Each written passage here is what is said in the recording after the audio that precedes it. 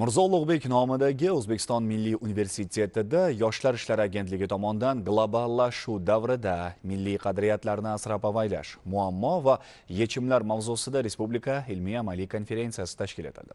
Unda jamoatchilik ishlarida faol bo'lgan bir guruh xotin qizlar ishtirok etishdi.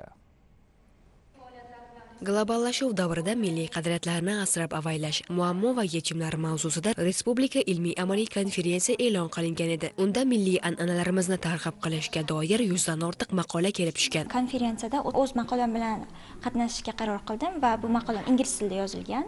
Hozirgi e, globallashuv davrida e, bizdagi ta'limni bizdagi qadriyatlar ustida qanaqa ta'limimiz olib borilayotgani va undagi qanaqa o'zgarishlar bo'layotgani e, aytib o'tganman. Bir qancha spikerlarimiz tomonidan yana bir bor e, globallashuv davridagi qanday muammolar bor va unga qanday yechimlar yoshlar tomonidan e, amalga oshirilishi mumkinligi haqida so'z olib borilmoqda. Anjumanda ta'kidlanganidek bugungi kunda mamlakatimizda xotin qizlarning huquq va manfaatlarini mustahkamlash ijtimoiy siyosiy faolligini oshirishda keng ko'lamli islohotlar amalga oshirilib ularning turli sohalarda qobiliyatlarini ro'yobga chiqarish uchun barcha shart sharoitlarni ta'minlash davlat siyosati darajasiga ko'tarilgan.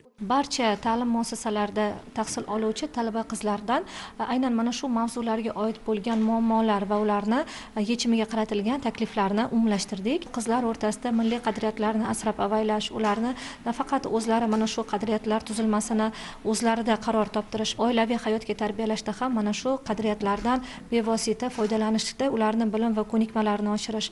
Bunda jamiyatda qizlarni o'zlarini ijtimoiy faolliklarini oshirish va ularni yo'nalishlarini tarkib toptirishni asosiy maqsad qilib oldik va bu bevosita mana shu talaba qizlarni e, ijtimoiy faollikka hamda ularni o'zlarini ilmiy e, salohiyatlarini oshirishga bu konferensiya bevosita asos bo'lib xizmat qila oladi. Muloqotda yoshlar milliy hunarmandchiligini rivojlantirish qadriyatlarini mustahkamlashdagi ahamiyati haqida so'z yuritilib talabalar tomonidan tayyorlangan qo'l ishlari namoyish qilindi.